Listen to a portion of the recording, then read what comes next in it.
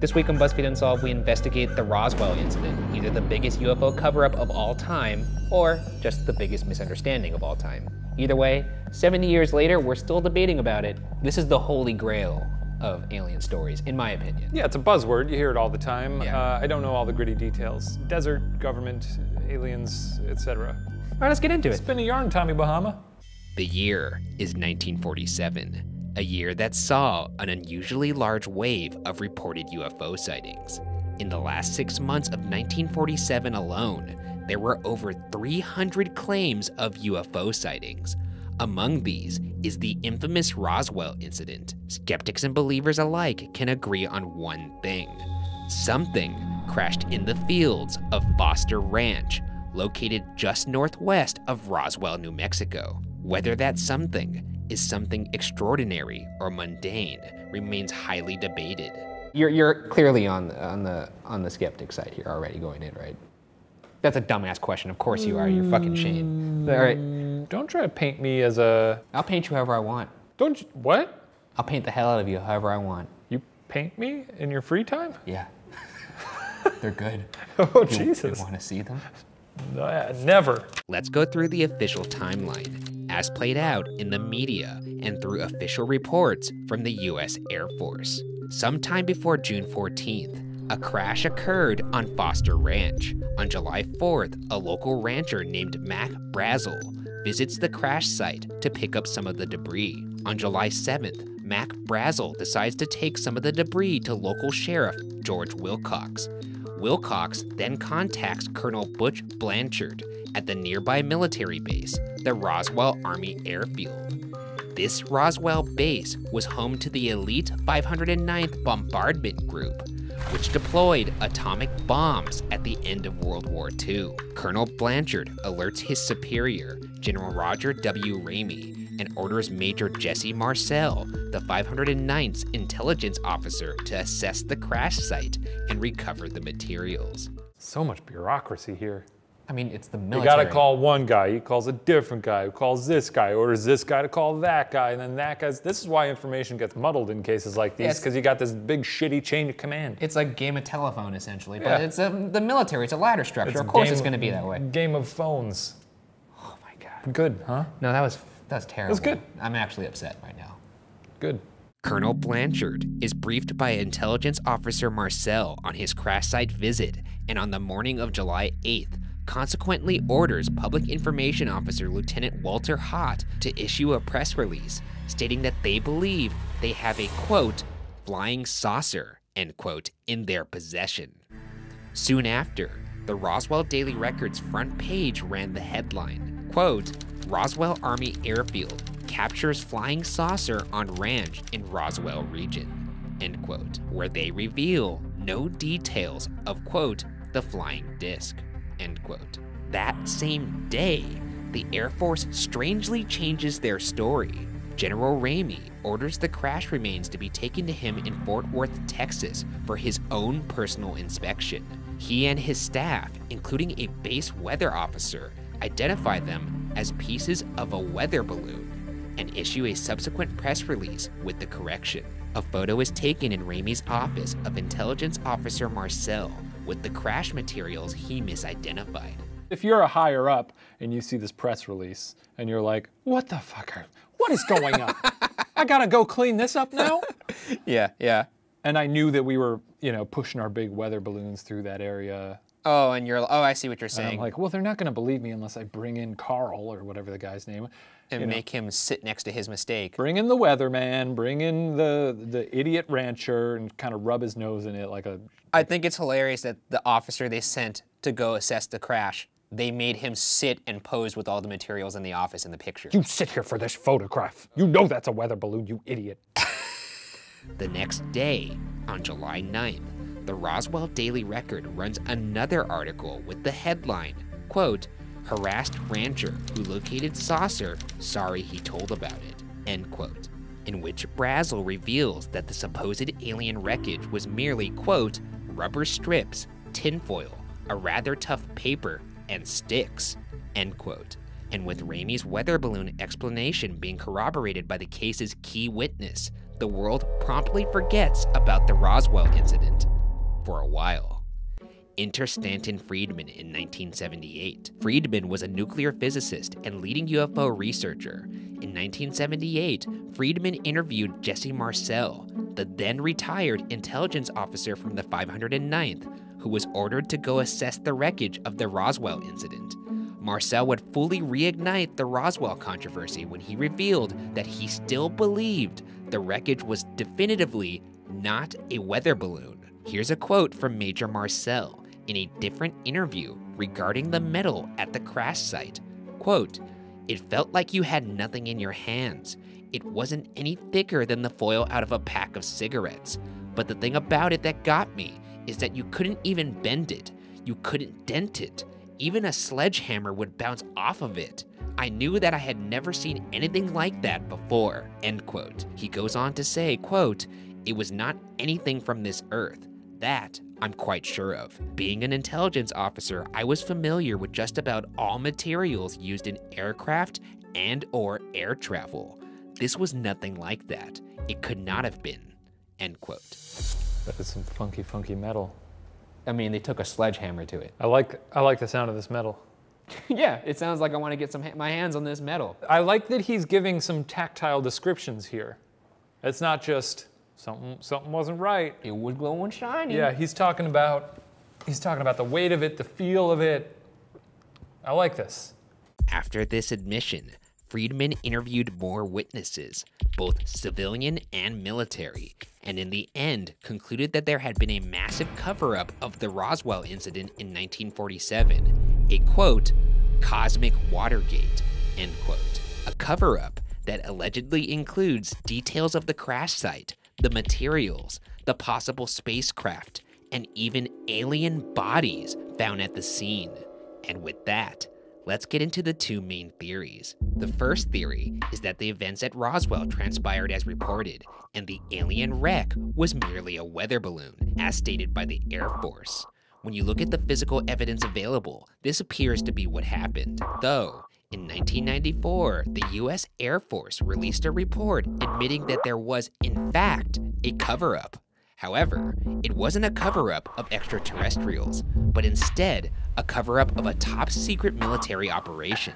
The report states that the remains found on Foster Ranch in 1947 were indeed the remains of a weather balloon, but not any regular weather balloon. This balloon was part of a then top secret program called Project Mogul. Project Mogul was conceived of by Dr. Maurice Ewing at Columbia University. He theorized that just as underwater microphones could detect sound waves produced by explosions thousands of miles away, perhaps an airborne monitoring system could do the same. Thus, as fears of nuclear war proliferated after World War II and intensified at the start of the Cold War, the top secret airborne weather balloons of Project Mogul were launched to detect any nuclear tests carried out by the Soviets. Boy, that's a big explanation. Yeah, here's the thing. If people are already on you for a cover up, I don't think it's a good card to play to be like, well, there was a cover up. Right. That's why we were acting so weird. But it was this, not that. Don't look over there. Look over here. Like the same thing. Yeah, and they're also, it's sort of they're trying to have their cake and eat it too by saying there was a cover up, but it was just a real nice weather balloon.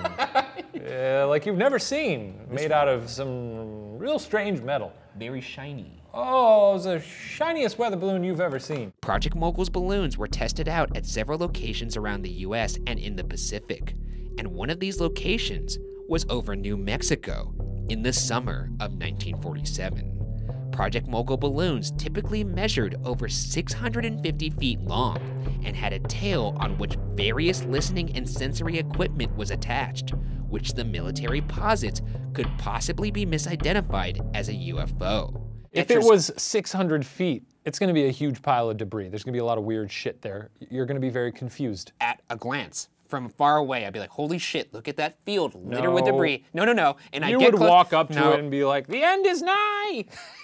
no. You'd go running through town, ringing a bell. No. The Martians are here. no, I, Lock yourselves in your basements. what I would do is maybe I'd do that running towards it. Then I'd get close and be like, oh, it's just fucking tongue depressors and Elmer's glue.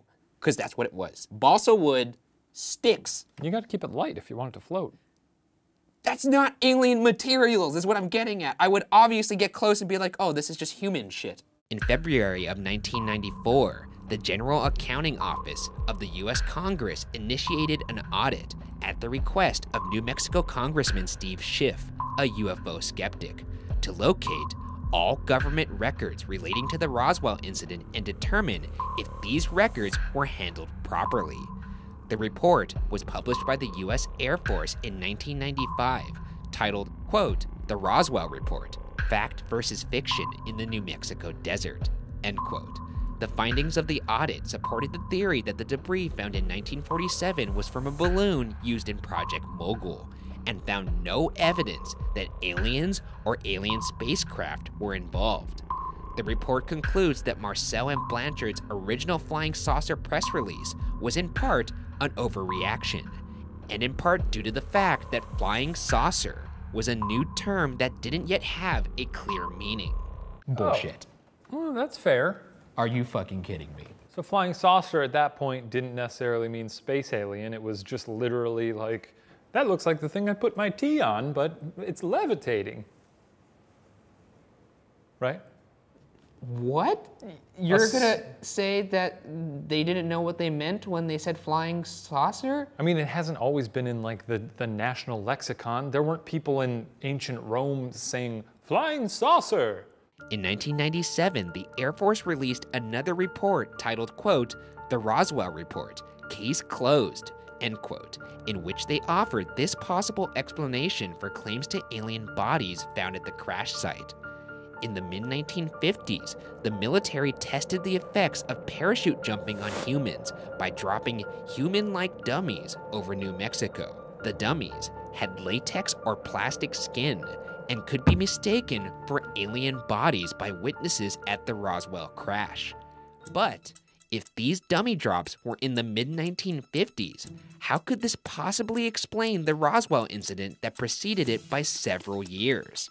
The military has an answer for that too. Air Force Colonel John Haynes explains that during the recounting of events decades later, details, quote, tend to become compressed, end quote, suggesting both he and the Air Force actually believe that witnesses are mixing up events from the mid 1950s with what were perhaps the most horrifying memories of their lives years earlier. Yeah, we've all done it, No. right? No, I mean, if, sure, if I'm trying to remember what I had for breakfast a year ago, yeah, I'm, I'm going to be a little foggy on that. But if I'm remembering that time I saw alien bodies uh, strewn from a wreckage, I think I'm going to remember that quite clear and when it happened. Another discrepancy is the fact that the bodies are repeatedly described as, quote, little, end quote, often four feet or less, yet the dummies used in these drops were six feet tall. It's unclear how this contradiction is also an effect of time compression. That being said, one interesting tidbit from the report is the fact that upon requesting files from the Roswell Air Force Base from the year of the Roswell incident in 1947, it was found that all records from that time, from January through October 1947, had been destroyed. And even more suspicious, the person or organization that had destroyed these files and the authority under which they had done so were not indicated. No, This is a reach. that's a bit of a reach. There, that's all I wanted to hear. No, it's a bit of a reach. you know, some of this is going to be baloney. Others, other, Uh, other gonna- bits, I might not be so sure. This one is certified fresh. Yeah, That's a I'll- fresh I'll, cut. I'll take a bite of that. that's a fresh cut. And with that, let's get into the second theory that the government engaged in a cover up to hide knowledge of alien life. Well, actually, before I get into it, I do have one more thing. What's no, no, no. This is not usually part of the sh- thing. What are you doing? Are you putting on a tinfoil hat? Before I get into this, I would like to preface this theory with the fact that most of this is based off interviews with those who claimed to have eyewitness testimony. The amount of witnesses is said to be more than 600 people, ranging from civilian to high level military. Some details of these stories vary between sources, so we've chosen to mainly focus on interviews conducted by two respected researchers named Thomas J. Carey and Donald R. Schmitt for their book, quote, Witness to Roswell, Unmasking the 60-Year Cover-Up, end quote. And while most skeptics will scoff at that notion, consider this. If there were hundreds of witnesses to a murder, all recounting similar details of the crime, would you doubt they were telling the truth? I don't know. I guess it depends on the circumstances. No, if there's hundreds of people. I just don't want you to have any satisfaction. You know I'm making a good point there. If there's hundreds of I'm not going to give it to you. No, you're gonna get. You already Uh, by you depends. saying I'm not giving the satisfaction means you internally want to agree with that. If there's if there's only eyewitness proof and no no actual proof sure, of the murder, Sure, if there's five people, but if there's 600 that have high-level military fucking people within that group, no blood though. No blood, no evidence, no nothing. there's 600 people. Just- Why would they all lie? The more riled up you get right now, the worse you come off because of this accessory. Yeah, I realize. really- it's I really not helping I you. realize now that this was a very bad call. I thought it'd be really funny, but now I realize I look like a fucking fool. Let's begin by going over suspicious details around the time of the crash, particularly the contradiction between the official record and eyewitness testimony. When Mac Brazel took some of the crash debris to the sheriff, debris that crash site witnesses described as otherworldly, Brazel also reportedly admitted something significant. According to a local radio personality, Frank Joyce of the KGFL radio station, Brazel admitted that the crash site was likely a UFO, and more importantly, that there were alien bodies on the scene. According to Judd Roberts, a minority owner of KGFL radio station, this admission would be recorded later, but KGFL did not air the interview due to phone calls from the FCC and US Senator Dennis Chavez urging them not to. If you've got a crazy guy still spouting lies, yeah, I'll, I'll put a stop to him. Or you got a very sane guy spouting truth. Yeah, or that. As detailed before, the military would issue an incendiary press release saying they have a flying saucer, only to correct themselves a day later. Like the military, Brazel would also recant any statements made about UFOs at this time. According to researchers Carey and Schmitt, shortly after Brazel's new statements, neighbors said Brazel purchased a brand new pickup truck and left his job as a rancher to start a business in Alamogordo, New Mexico. Also suspicious in Carey and Schmitt's findings were testimonies from locals and Brazel's family that revealed Brazel was detained by the military around this time, further suggesting that he could have been forced to recant his statements about UFOs. The military also reportedly threatened locals to keep quiet, as well as ransack their homes for remaining crash site materials. This is corroborated by the testimony of the foster daughter of Colonel Hunter G. Penn, an Army Air Force officer who supposedly admitted to his foster daughter that he was tasked with enforcing a quote, information blackout, end quote, with a focus on the little bodies. He was authorized to use physical force and weaponry if necessary to get this accomplished. Another interesting contradiction was that Colonel Blanchard, the superior to Major Marcel, who approved the initial flying saucer press release, strangely went on leave after he issued the controversial release. However, according to Lieutenant Colonel Joe Briley, who was a staff member of Colonel Blanchard's, the reported leave was actually a cover up to allow Blanchard to coordinate a cleanup operation of the crash site. I mean, if he fucked up and was like, yeah, it's UFOs, and they were like, no, it's not UFOs, you stupid piece of shit. we'll, we'll fix your mess. Why don't you take a little time off? Why don't you leave? Get your shit together, get your life together. Yeah, why don't you leave so people could look at that later and be like, why did he leave after he makes this weird announcement? I don't think they care, again. I don't Well, think they I mean, care. they should care if they're people who concentrate on details. That's what I'm saying. Perhaps the key contradiction is the photo taken in General Ramey's office of the supposed crash site materials. A sealed statement, apparently written by Roswell Army Airfield's Public Information Officer Lieutenant Walter G. Haut, which was only to be opened after his death, claimed the photo taken in Ramey's office was a hoax. Haut wrote that the actual crash materials were substituted with weather balloon materials and then photographed with Marcel, a fact that upset Marcel, Just to hammer home the possibility of a cover up, a man named Ben Games was a personal pilot to then Major General Lawrence C. Craigie, the chief of the engineering division at Wright Field, the Air Force Base commonly thought to be where the UFO and aliens were transported and housed. According to Games's testimony, he flew Major General Craigie to Roswell to examine the crash wreckage, and after a few hours, flew General Craigie directly to DC to meet with President Truman.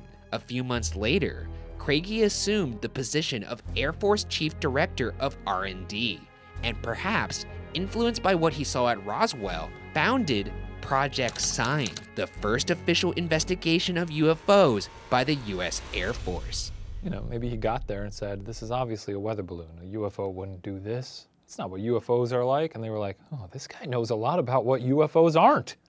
No. Yeah. No. You don't. This guy's got a good eye for what isn't a UFO. So you're saying they send someone out in the ocean and be like, oh man, I didn't find Godzilla out here. We should start a program about finding out about Godzilla. I mean, clearly he's got a good eye for detecting what's not bullshit. Now that we've established the cover up and timeline, let's quickly go over some of the controversial and fascinating details of this theory, starting with the reported alien bodies at the scene. These supposed witnesses are consistent in their descriptions of the bodies as short in stature, maybe three and a half to four feet, with large heads, large eyes, only holes for a nose, and a small slit for the mouth. Numerous military officials have claimed to hear secondhand information of the bodies or even see the aliens for themselves. To name a few, there's First Lieutenant and Public Information Officer at the Roswell base, Walter G. Haut, retired Brigadier General Arthur E. Exon, and Tech Sergeant Herschel Grice. Moving on to the spacecraft. According to Sergeant William C. Ennis, he was at the time a flight engineer of the 393rd Bomb Squadron stationed in one of the primary receiving hangars for the debris, called Hangar P3. For years, Sergeant Ennis denied the crash, writing it off as a weather balloon, like the rest of the military. However, in 2008, Sergeant Ennis changed his tune, admitting, quote, it was a spaceship. After all these years, I still don't know how that ship flew. There was no engine. Before I go, I'd like to know. End quote. Before I go, I gotta know how that ship flew. Was he on his deathbed No, when he no, said but oh. I, I'd like to imagine him like talking to his grandson. Yeah. The ship had no wings, Jimmy. I don't know how it flew. Jimmy, I think that ship was bedeviled. The craft was also confirmed in numerous other testimonies, notably by Lieutenant Walter Haut, who described in his affidavit a ship Colonel Blanchard had shown to him that was roughly 12 to 15 feet long and windowless. To close this out, let's move on to the scattered debris from the crash site, which many claimed included a mysterious material that was described as, quote, memory metal. Summed up from more than two dozen witness testimonies ranging from military to civilian, the metal was said to be weightless, smooth, thin, and could not be cut, scratched, or burned, though the metal was able to be temporarily manipulated. Here's a quote from Roswell Army Airfield Sergeant Earl Fulford. Quote, I picked it up, but once in the palm of your hand, you could wad it up into a small ball. Then, when you let it go, it would immediately assume its original shape in a second or two, just like that. End quote. This free flowing quality of the metal was echoed amongst many testimonies. Retired Brigadier General Arthur E. Exon said, quote, Some could be easily ripped or changed. There were other parts of it that were very thin, but awfully strong, and couldn't be dented with heavy hammers. End quote. Exon also explained that these observations were from his time as a lieutenant colonel when he was also an administration student in technology at Wright Field's Foreign Technology Division, a division whose purpose was to reverse engineer foreign tech. Additionally, a memo surfaced in the early 1980s detailing a September 15, 1950 conversation between physicist Robert I. Sarbacher, a consultant with the U.S. Department of Defense Research and Development Board, and other government scientists. In the memo, Sarbacher is said to have worked on a failed reverse engineering project, allegedly stating, quote, all we know is we didn't make them, and it's pretty certain they didn't originate on the Earth, end quote. That's good. I love it.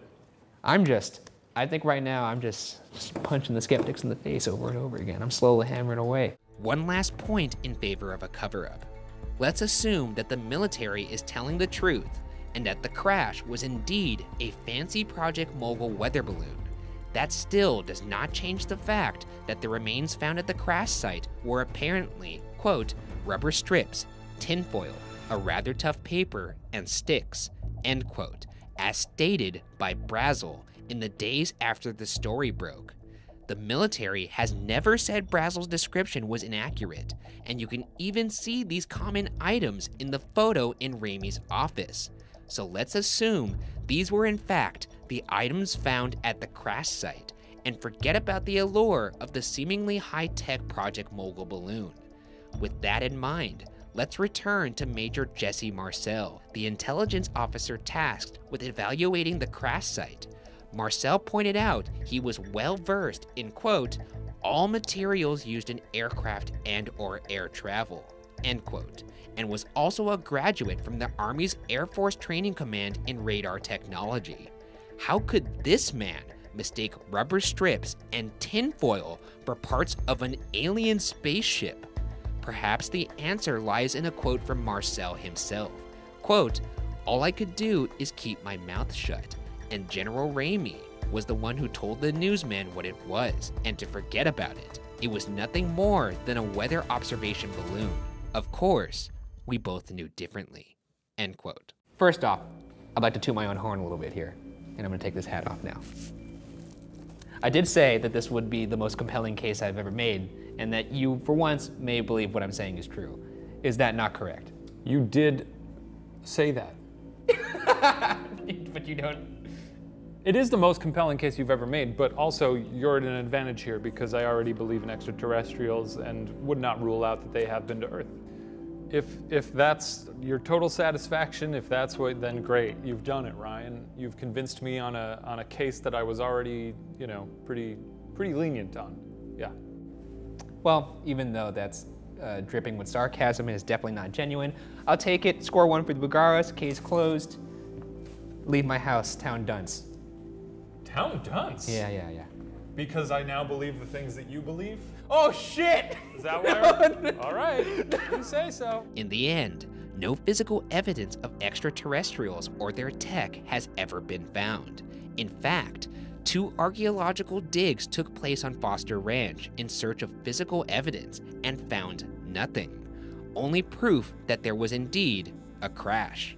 It's easy to see both sides. Skeptics wonder how it's possible that the military could have been so absolute in their cleanup and subsequent cover up. Believers wonder how it's possible that there could be such consistent testimony among hundreds of witnesses down to small details of something that apparently never happened. One thing is for sure what truly transpired near the sleepy town of Roswell, New Mexico will keep people debating, but for now, the answer will remain unsolved.